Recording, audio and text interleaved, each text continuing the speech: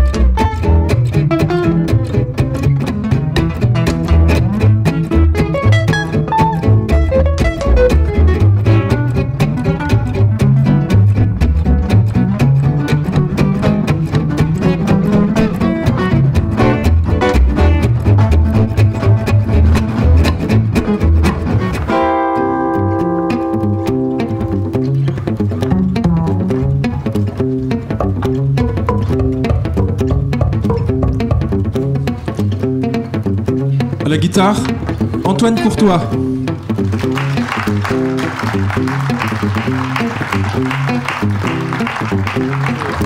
À la contrebasse, Dominique Molton.